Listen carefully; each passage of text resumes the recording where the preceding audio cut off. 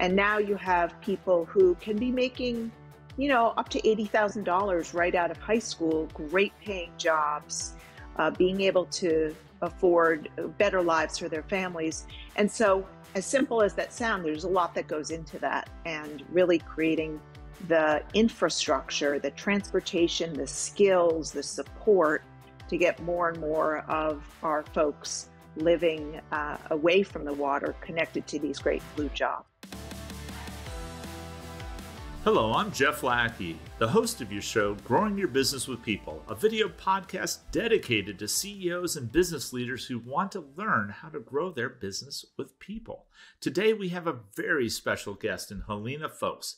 She's a colleague of mine from the CVS days and a former CEO of Hudson Bay Company. You can think Saks Fifth Avenue. She was also president of the CVS retail division with nearly 180,000 colleagues within her organization. She's a former Democratic candidate for governor of Rhode Island. She's also executive chair of the Follett Higher Education Group, the board chair of PM Pediatrics, as well as board members of Harry's, Skillsoft, and CEO advisory board at Salesforce. She's also served on the board of overseers at Harvard and as uh, as a member of the board of directors at the Home Depot among many other things. With all this leadership experience, I cannot wait for you to experience the amazing person that I know is Helena Foulkes. Welcome, Helena. Hi, Jeff. Thanks so much for having me. Oh, thanks for being here. I count it a privilege. My family will tell you that uh, that I've been waiting all like uh, for these past month. I've been talk. All I can talk about is uh, I can't wait to interview Helena Foulkes. She's going to be uh, she's going to be the, the highlight of uh, of the season. This Very is exciting. Nice. So I, I know that you're one of the most purpose driven people that I I have ever worked with. You help lead CVS through a, an important pivot and transition to quit smoking. You also served as an inspiration to myself and um, anyone who meets you. Can you tell us a little bit more about where this purpose centered attitude comes from? Well, I think it comes from my parents, honestly, and, and my grandparents and my family. Family is incredibly important to me. And I grew up uh, with a mother and a father who were both very passionate about service and serving people in their community. And my mother, in particular, was just incredibly warm and, you know, was giving, and everyone who was in her orbit felt her love. And so I think that I was lucky enough to feel that. And she had come from a family that was full of public service in terms of, of, of serving in office. But my dad was a relatively small business owner. And I uh, really, for me, the power of, I didn't feel that those were in conflict. I think oftentimes people think of going into a life of service or business. And I thought about it as an and proposition, one where you could do both, no matter where you are, about the idea of really listening. Mostly, I'd say listening to people who are closest to the customer and understanding. And I think that's what my parents did so well. They were really listeners. And by listening so intently, I learned so much. I one of my favorite things was always going to a CVS pharmacy and just standing there and watching and listening at the counter and watching the incredible passion of the people work there, but some of the pain points too, and thinking about how I could, as their leader, make their lives better. And I think that when you focus on serving the people who are serving your customers, uh, you end up making their lives better, but also the customers you serve, and it creates a, a, like a success wheel. And so for me, I was always drawn by that by that idea of serving people who worked at the company. And then we could talk about it more, but it became a, in some ways, natural transition to move into trying to be in a life of public service as well. So I've been really fortunate to be part of a great family. Oh, that's fantastic. What an amazing virtuous cycle that you was created. Started off with your mom, your dad, small yeah. business owner, a mom who who really fills the house with love and and and uh, and warmth, right? And right. then turns it into somebody who knows how to listen, you know, knows how to listen from the customer perspective and also from the employee perspective and then to makes you actually feel like that you're the only person in the room. So what a what an amazing gift. What an amazing yeah, gift. It was a gift. Just This podcast is brought to you by Seven Step, a leading global workforce solutions provider that offers recruitment process outsourcing, MSP services to manage the flexible workforce, including suppliers and contractors, and total talent solutions for managing the entire permanent and flexible workforce supply. Their people are great, and so is their technology, particularly their Surveyo Insights data and intelligence platform. It's really cutting edge, not only in how it brings your talent data together, but in how it draws deep, detailed, predictive intelligence. It's really like a crystal ball for your talent data. I used 7 Step at my previous two organizations, and their team helped us to launch a full service RPO to staff healthcare workers, customer service reps, IT professionals, data science and engineering, digital design teams, along with aerospace engineers and manufacturing workers. Their talent analytics put data at my fingertips, which allowed me to see around corners and strategically plan for frequent and volatile market changes, including a global pandemic where we had to hire literally hundreds of thousands of people. Their deep knowledge and exceptional integrity allowed me to rely on them as a trusted partner across multiple lines of business. Go to 7steprpo.com to learn more about the powerful things 7 Step can do for you. One of the things that I think about, you know, and I know a lot of folks are aware, is that while you have led large corporations, um, enormous corporations, but you've also transitioned and been leading some not for profits recently, mm-hmm. and that can be hugely different. I know yeah. you have a big passion for the public private partnerships and how we can use those to close the opportunity gap in terms of both education and employment. Can you tell me mm. about this work that you're doing and why you think other CEOs and other business and government leaders should be equally invested in this type of work? Well, I, I love what I'm doing right now because you're absolutely right. And I think it goes back to I was describing before it's neither public service nor just for profit, that there's a, this beautiful convergence in the and of both worlds. And so my life right now is really filled, mostly focused on education and healthcare, both for profit and non for profit. And I I feel like I'm learning so much every day from both worlds and mm-hmm. really trying very much to make this a you know a better place but if we just focus on education which was the number one issue I, I talked about in mm-hmm. my campaign for governor. Um, we live in a state in Rhode Island where only 33% of our kids pass their grade level reading tests and 20% in math. And so there's an enormous K through 12 opportunity. But there's also real work that's going on. And Jeff, you're a big part of this too, in terms of workforce development and making sure that adults get to have great wages and great careers regardless of whether they've gone to college or not. And I think in in all ends of this spectrum, in many ways, what I've become is a coach. How do I help coach the leaders get to the goals that they have? So, for example, I've got two mayors who I'm supporting right now in Rhode Island. And when I say supporting, I just mean giving my time as an ear for them. Uh, one of them is the mayor of Central Falls, one of them is the mayor of Johnston. But in both cases, you we've talked about this before being the top of any organization can feel very lonely sometimes and what i can do is be there for them and help them think about the most important decisions they make which is the people they put in those jobs and then whether they're making good strategic choices with their dollars um, but then uh, you know i I get the joy also of working in for profit organizations where we're working on skill based training and developing our workforce so that they're ready for the future. And I think that leaders of today, whether you're in the public or the private sector, there's more convergence than ever. And I think when both sides of the equation can come together, that's when we can really make explosive gains for the people that live in our communities. And that, that's what we all want. We want people to have you know, to reach the earnings capacity that they have to get the skills they need to give their families great lives. That really gives me a sense of purpose.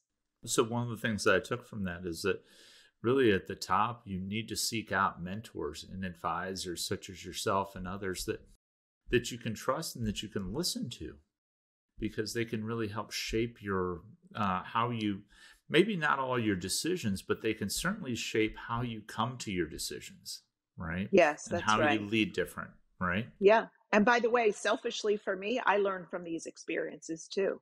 So as you think about finding your own mentors no matter where you are remember you you bring a gift to your mentor as well which is you're teaching him or her about the experiences of the folks you're serving. And that's a gift for me as much as i'm able to support them. I still remember mentoring a, uh, a store manager at cvs and what an, a learning opportunity ended exactly. up uh, I, I, I am too good at my job so i ended up recruiting her onto my recruiting team uh, over time but but that right. was after you left don't worry it was not before you left yeah so, um yeah and and just but the empathy for what she was going through the the the the customer yeah. the balancing of the customer the supply chain the needs the stocking you know the you know the needs of the pharmacy as well as the front store and and how all those things came in balance even as as simple as like what's the stockroom have to look like and whenever you know whenever put p- people put things away out of order you know that she ends up spending an entire weekend trying to fix all of that stuff that's put away the wrong way you're like you're sitting there going wow mm. that's that's a level of commitment from somebody who is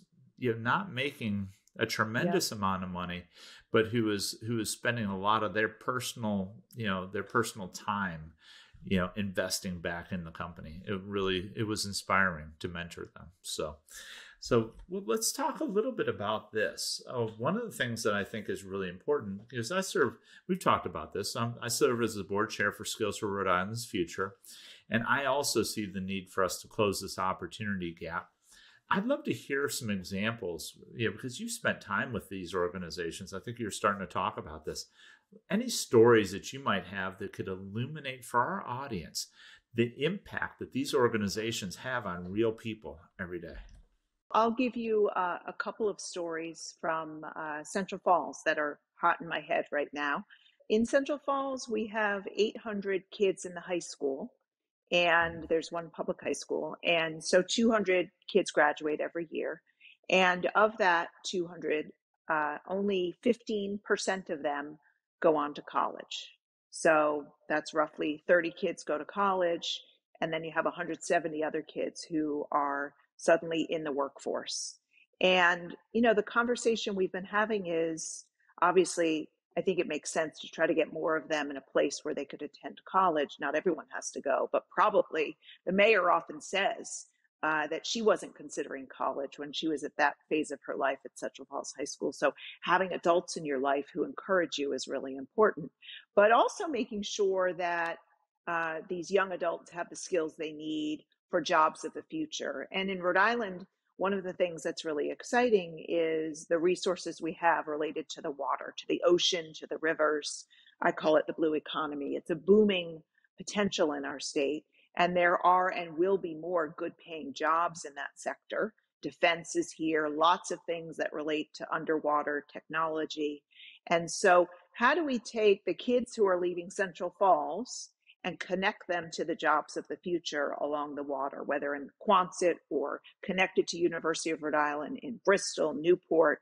And today there's a huge divide. There's a skills gap, and your mm-hmm. organization mm-hmm. is helping fill that. In fact, uh, your organization, Jeff, thank you, is going to be sponsoring a good number of Central Falls high school students this summer in the program to teach them the skills they need for the future.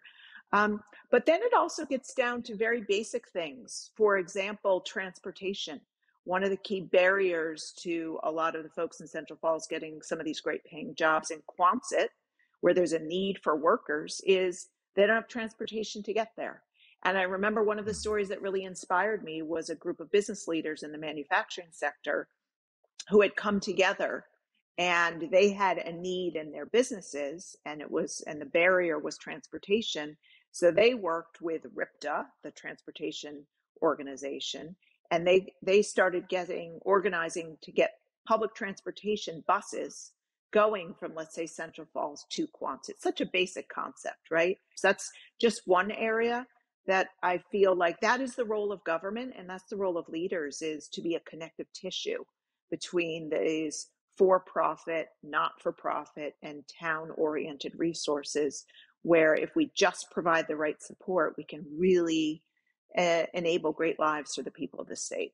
What a great way to put it. is being that connective tissue to to bring the people and the resources together to solve problems that one company couldn't solve for itself nope, right? And exactly one group, right. one town couldn't solve for itself. But right. but if you pull everybody together and get things get people collaborating they think differently they start solving stuff with ripta or whatever the solution might be. And that's yes. uh, that's exciting. What a what a tremendous example.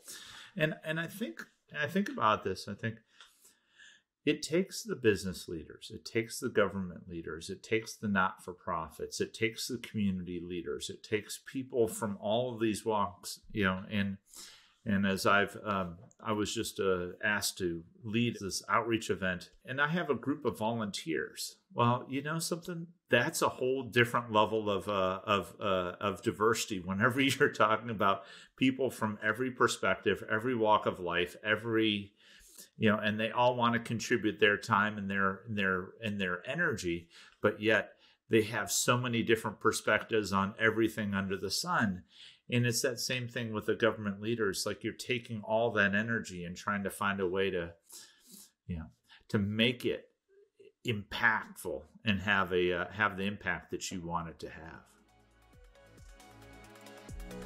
This podcast is brought to you by paradox ai also known as olivia recruiting's most advanced ai assistant. I used paradox at my previous organization and their team helped us create a candidate concierge experience that ensured a fast hiring process that still felt very human. We literally hired hundreds of thousands of people, many of whom were critical healthcare workers needed during the pandemic. She would let them know we had an interview or offer waiting and would help them navigate onboarding processes. Olivia made the experience easy and fast, two essential ingredients in recruiting great people. It's not just me. Organizations like McDonald's, General Motors, Unilever, and L'Oreal use this technology to create engaging and fast candidate experiences. Go to paradox.ai to learn more about the amazing things Paradox and Olivia can do for you. So, you've led teams of hundreds of thousands with over tens of billions in revenue. You've led these teams but that may seem very daunting to somebody who is listening or watching the show who may only have 50, 100, 200 employees, maybe not even that, maybe only have 10 or 15. Mm-hmm. What experiences do you attribute really shaped how you chose to lead and, and what lessons uh, that they might be able to take away from this did you uh, take away from those experiences? Well, sure. I think that I'm I'm a work in process. I think we all are, right? To become great leaders, and I work on it every day. And part of what I uh, love is being inspired by other great leaders. And and size doesn't always equate to great leadership, right? There are there are amazing leaders of very small organizations. But I've actually had a professional coach for the last 15 years, and I share that because I think we need coaches in lots of aspects of our lives. So, whether it's an informal coaching opportunity you have with a mentor or something more formal, that's one thing that I have benefited from tremendously. So, I will put that out there.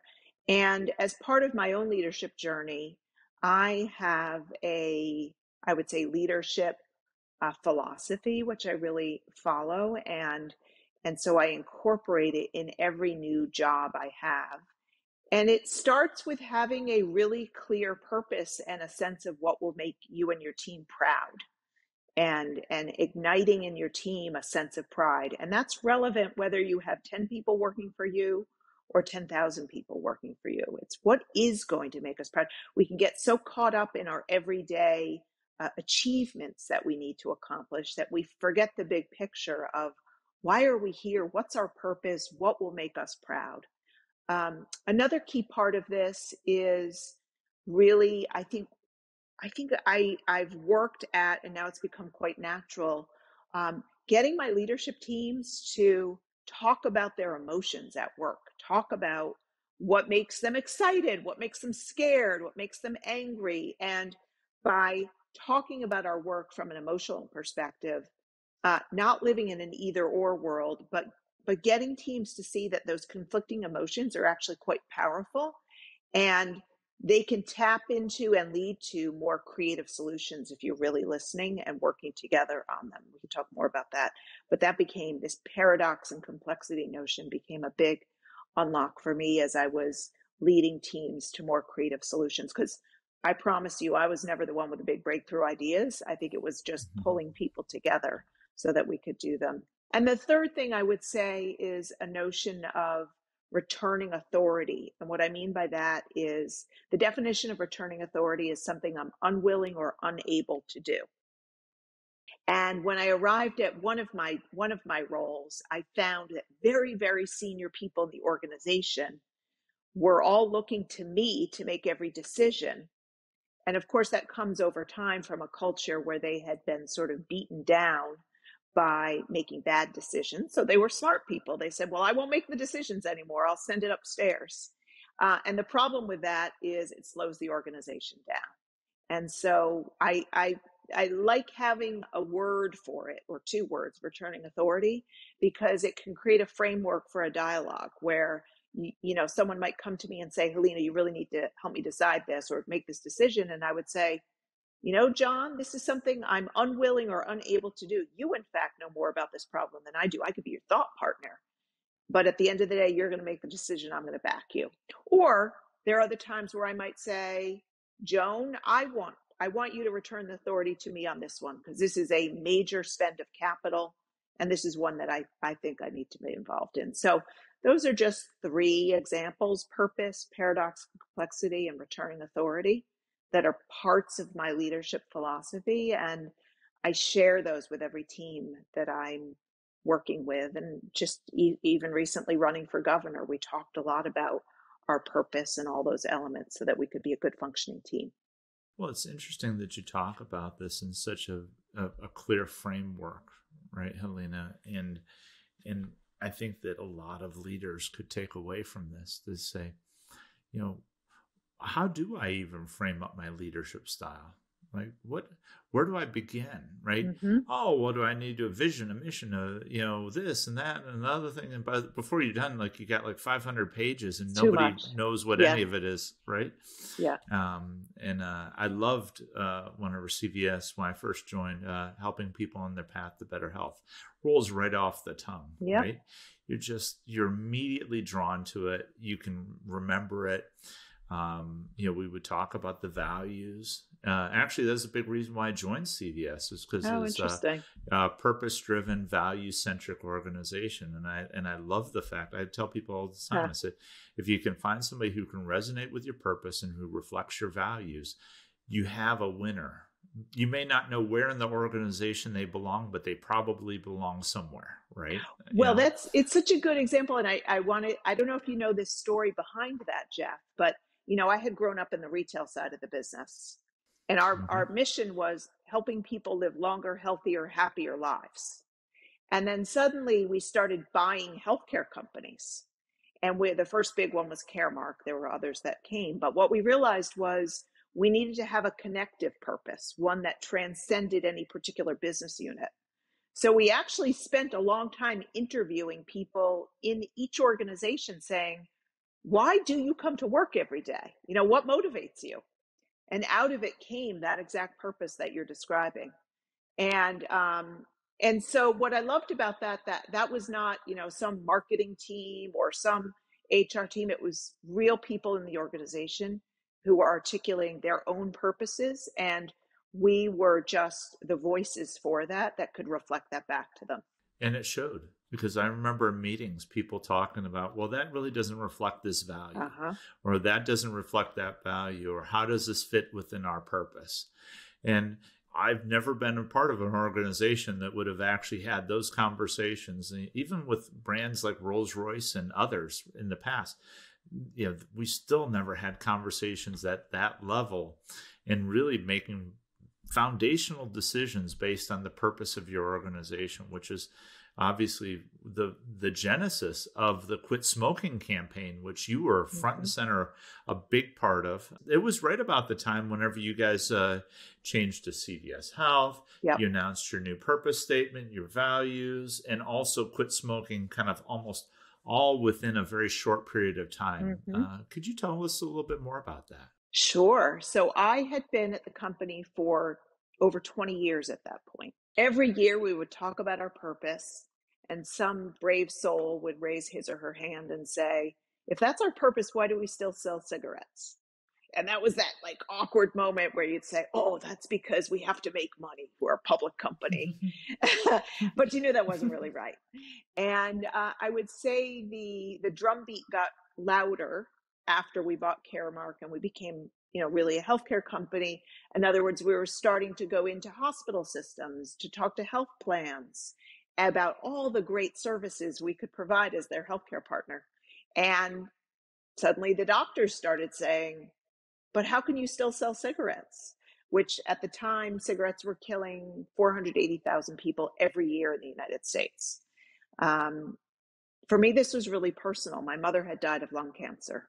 And so I had lost her in 2009 and it was you know to lose a parent's a terrible thing but to lose someone that way is is really devastating.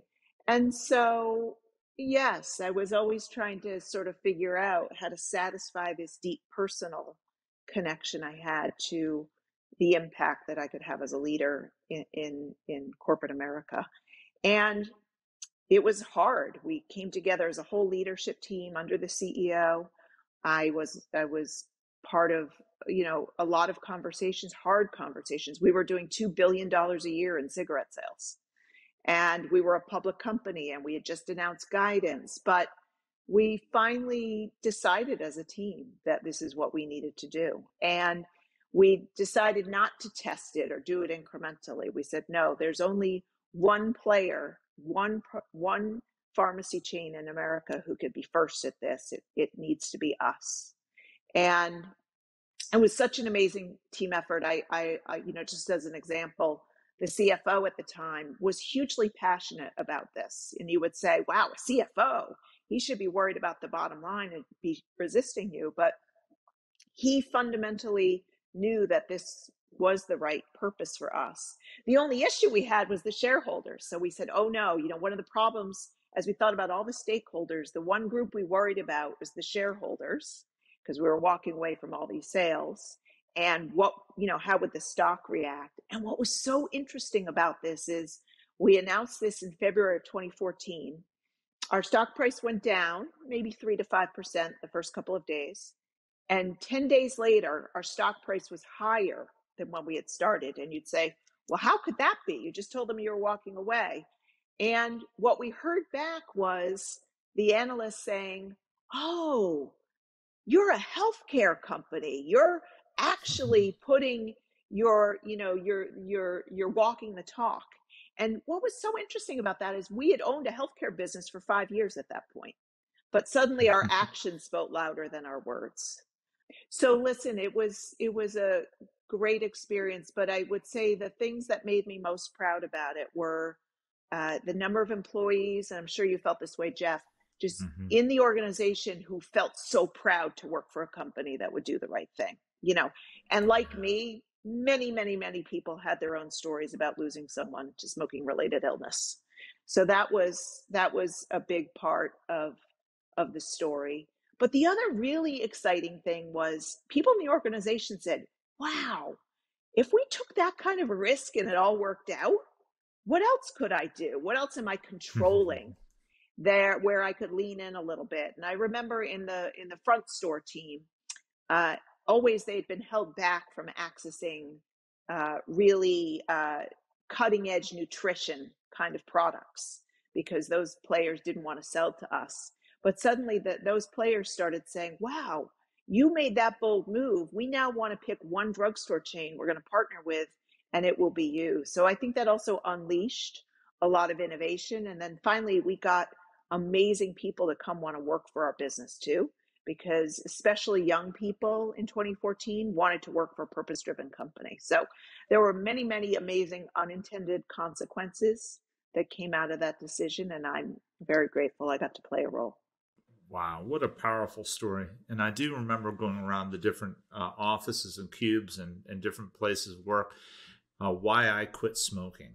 Mm, and they would actually right. have, uh, hey, my, I had a parent or a loved one who passed away. I, you know, um, you know, I decided to be there for my children. You know, nice, uh, right? Exactly. You know, I mean, you would see their personal story behind each one. And the the the the favorite part of it was for me just the the laugh I got out of the the, the kick butt campaign, right? Uh, and then seeing the massive cigarette being right. crunched down. uh, having grown up with two parents who smoked, uh, mm-hmm. you know, five packs a day each, wow. and me uh, being in the back seat of the car on long eighteen hour journeys to Florida. Uh, that was uh, that was you know this whole quit smoking was deeply personal for me. you know, so to watch that and uh, really excited to see it. Bayard Advertising Agency is entering our 100th year of business. From day one, we've specialized in recruitment advertising, and today, we develop fully digital strategies across programmatic advertising, search engine marketing, and social media. With 100 years of experience and knowledge across every industry, we're ready to help our clients navigate what's next. To learn more, visit us at bayardad.com. let me talk pivot just a little bit here because you've given us such wonderful information but really i mean you're just a real person like just all the rest of us and your family just like the rest of us is a very mm-hmm. critical part of who you are you have 4 mm-hmm. kids your husband you have an extended family your grandfather and uncle were former us senators but yet, I always was remarking about how down to earth you are and how mm. approachable you felt whenever I'd come to your office or you'd see uh, I'd see you in a meeting. How has your family helped to shape your ability to make that human connection? Uh, and this obviously even kind of goes. I know you talked a little bit about your mom, which is you know even more impactful knowing that she she had passed mm. you know due to lung cancer, but was such a important part of your life. How did that time in your life really help you make those human connections?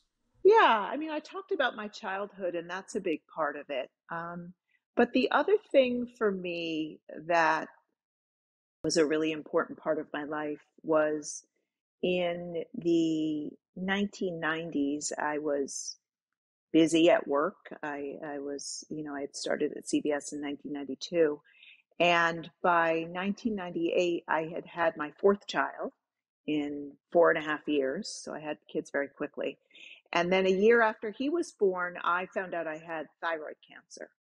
And I went through surgery and a radiation treatment and uh, took a little time off from work, but honestly, not that much because I was really the primary breadwinner in my in my family. So I needed to get back to work. But I, I think I think that experience taught me a lot and made me a better person. And, you know, in a few ways, number one, my family was there for me. So I didn't do it alone. My husband was incredible and is still incredible. My parents, my siblings.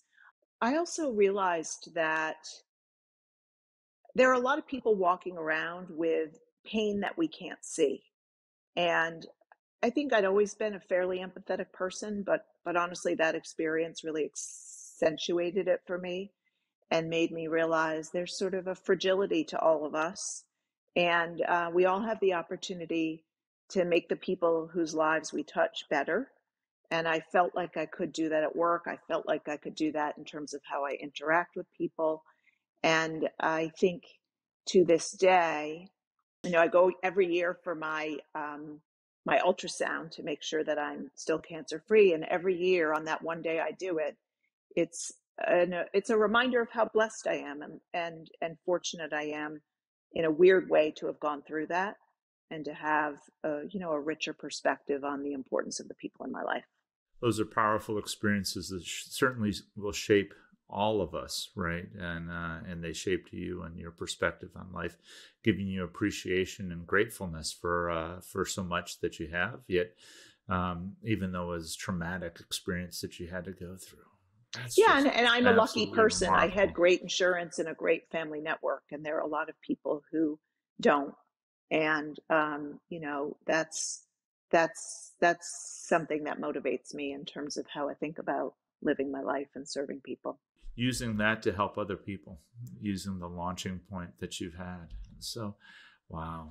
Thank you, Helena, for an amazing time on the show today. Uh, thank, thank, you, Jeff. So it's just fun seeing you. You're an amazing leader yourself. Thank you for all you do to help people build their skills in Rhode Island, but also this conversation. It was really fun and nice. Well, this is uh, this has been amazing. Well, there you have it, Helena, Foulkes, business leader, civic leader, innovator, and just an all-around amazing human being. I want to thank you for being on the show today.